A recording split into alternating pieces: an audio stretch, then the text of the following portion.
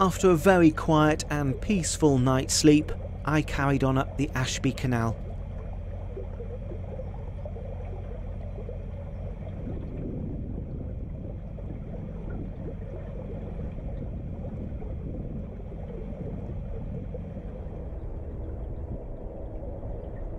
Just south of Hinckley, near Bridge 15, is a water tap, so I took the opportunity to fill up my tanks.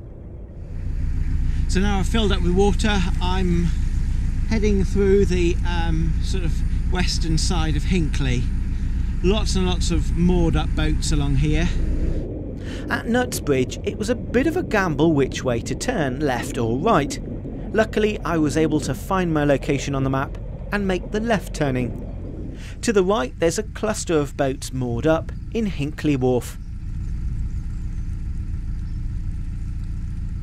Winding my way through the built up areas, it was a bit of a contrast to what I've been used to. I wanted to get some lunch on the strait between Bridge 17 and Trinity Marina, but every mooring spot was taken. In my last video, I discussed about the four sources of energy. I failed to mention the fifth, which is wind power. A number of people have got wind turbines either on the roof that go round or they've got ones that go round like that. that. As you leave the built up area of the town, to the eastern side there is the head office of Triumph Motorcycles. They're the largest British motorcycle manufacturer and last year saw profits rocket with a turnover of nearly £500 million. The Ashby Canal is great if you're new to canals. It's quite a short canal at 22 miles long, has no locks, and can easily cope with boats up to 72 foot in length and 7 foot in width.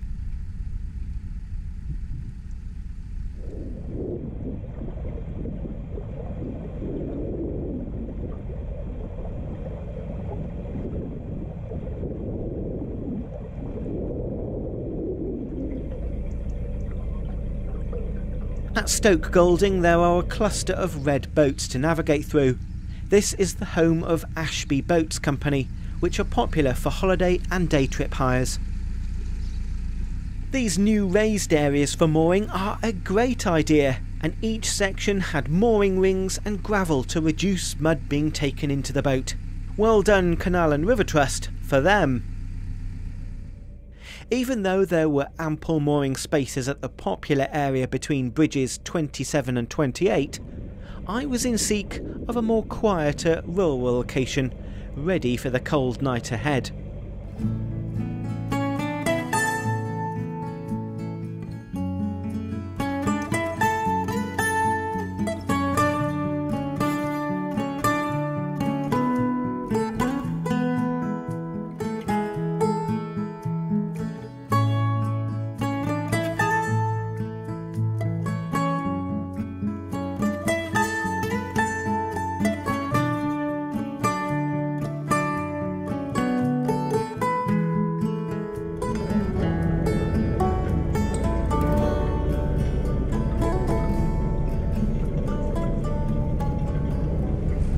Lovely sunny day again today. Very cold last night. Um, I think it got down to about minus three or minus four degrees Celsius. That was outside, mind you, because inside it was boiling. I lit the fire, and as usual, I put a little tiny few more coals on than I should have, and it got so warm I was in my t-shirt and, and shorts editing, and I had to open a load of windows and doors and Molly resorted to lying on the cold tiles in the bathroom. But anyway, um, I'm moving on further north up the Ashby Canal today. Um, it was so cold outside that there's a slight ice on the top of the canal, about three or four millimeters I'd say, not much. Certainly not enough to do any damage to a hull or do any damage to the paint on the hull but it's got a certain crunch and a certain crisp and crunched sound as you as you navigate through it.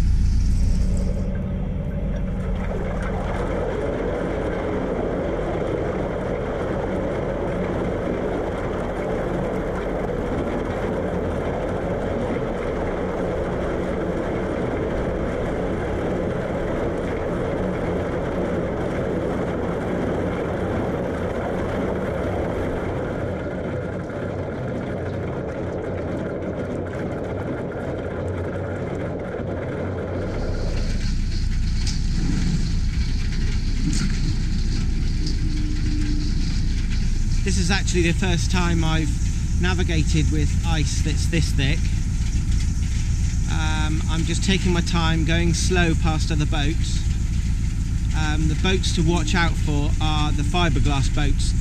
I think this ice is fine, but if it was any thicker, I wouldn't navigate because there's a, a risk of a sheet of ice puncturing the side of the fiberglass boat. But there's lots of movement around the boats up ahead, so I think it should be okay.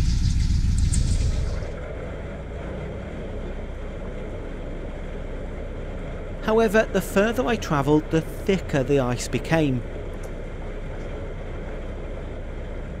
At one point, I had to reverse just to get around the corner, as the ice seemed to dictate which direction I should travel. So I moored up. I'm up at Sutton Wharf now, and there's a turning circle here, and I've emptied my bins and filled my water and all that sort of stuff. Now, the when I set off, the ice was quite thin, um, but as I sort of ventured out, especially into areas where there were lots of trees covering the canal, it got really quite thick, sort of five to eight millimetres. Now, I went really, really slowly past other boats but it's not fair on boaters that um, are inside boats because it makes a hell of a racket going past. Plus, I didn't want to scrape all the paint off my hull. After a spot of breakfast at the cafe here, it was time for a molly walk to a rather significant battlefield.